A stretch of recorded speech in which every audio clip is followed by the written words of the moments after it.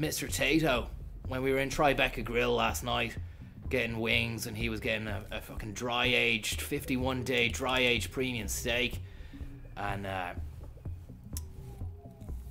he was just in bits he had tears coming out of his eyes like you know and i didn't think that it was possible for a spud to to create water in such a phenomenal volume as he did and one of the waiters had to come by and, and put down an extra napkin and a fucking little dish. Do you know the finger bowl that you use for uh, washing your hands after you've been eating oysters? They just brought one down for him, for his tears.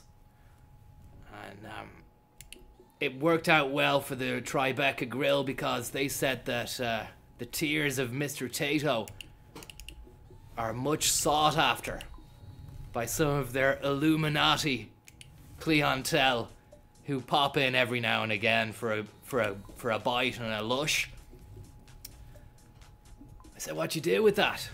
They said, "We marinate sprouts in the t- in Mr. T in Mr. Tayto's tears for two weeks, refrigerated, and then we heat it up on the hob. Just dish it out to the the Illuminati boys." I said, when do these guys get in and when do they eat? I'd love to be able to knock heads and just throw throw a few business cards at them. Because any businessman worth his salt knows you need to have at least five different types of business card at any given moment. Because there are five different pe- types of people in the world. There are achievers. There are maniacs. There are a lot of assholes. There are good, kind souls.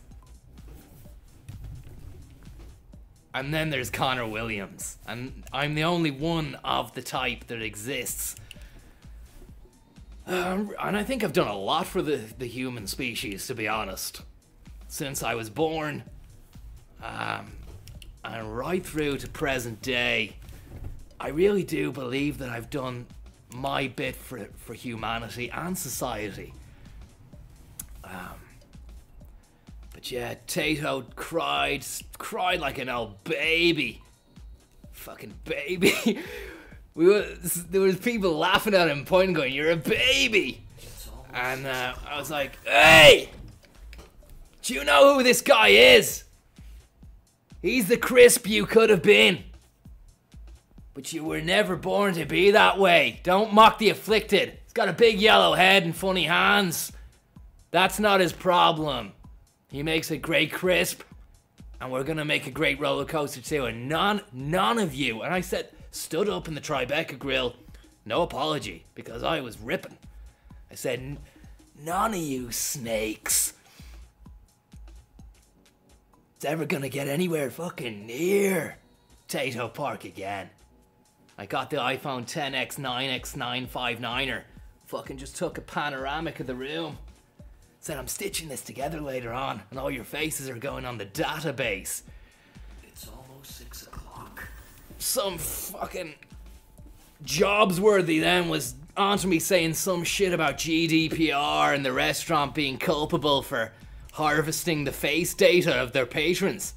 I said, look, man, I don't understand what you're talking about. But I know a guy who does. My solicitor gave him a fucking fake business card with the name of a solicitor that doesn't exist on it. Alsace Village, O'Herlihy. And, uh,